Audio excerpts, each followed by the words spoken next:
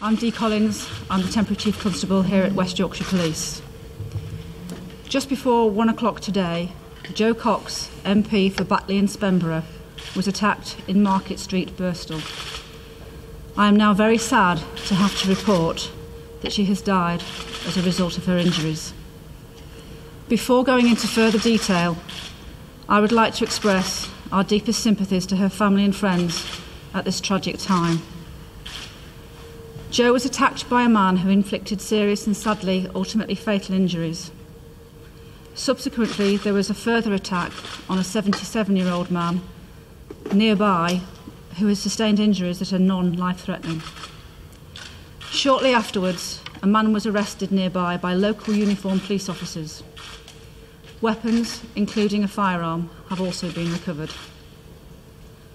At 1:48 p.m., Jo Cox was pronounced deceased by a doctor who was working with a paramedic crew that were attending to her serious injuries.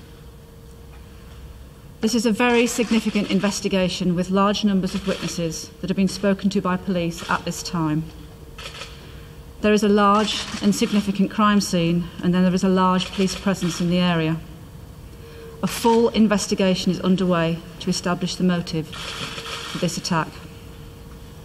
There are specifically trained officers with Jo's immediate family who are fully aware of what has taken place, and we would ask the media to respect their privacy at this very difficult time.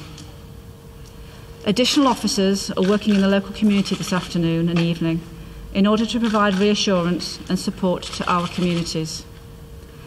Clearly, as this inquiry is at a very early stage and we have an individual under arrest, we are not in a position to discuss any motive at this time. We are not looking for anyone else in connection with this incident at present.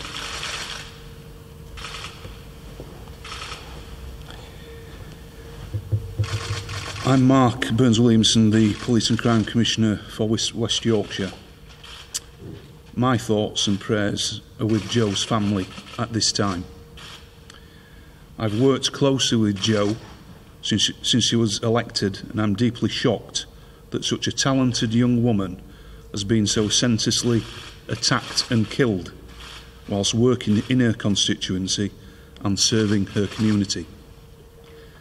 This is a truly shocking incident, but I want to try and reassure communities that our information is that this is a localised incident, albeit one that has a much wider impact.